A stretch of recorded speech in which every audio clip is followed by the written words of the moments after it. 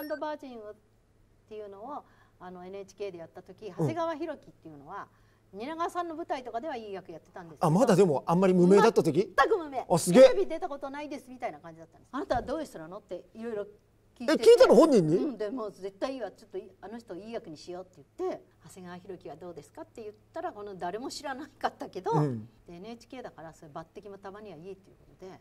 NHK だからですね。NHK だからです、うん。それで鈴木京香主役で相手役17歳年下の長谷川博樹でやったんです。